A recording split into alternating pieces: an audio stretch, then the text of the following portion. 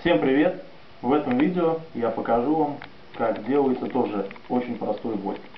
Для этого сначала покажу, как он выглядит. Это выглядит так. Тоже, как видите, очень просто. Что для этого надо? Берем колоду вот таким вот образом. Пальцы располагаются вот так. Далее, большим пальцем отодвигаем часть, нижнюю часть колоды вниз и захватываем этим же большим пальцем, захватываем верхнюю часть колоды и как бы вращаем ее по кругу вокруг указательного пальца.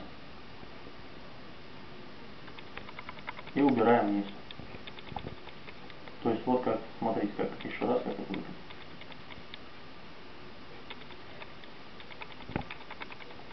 Все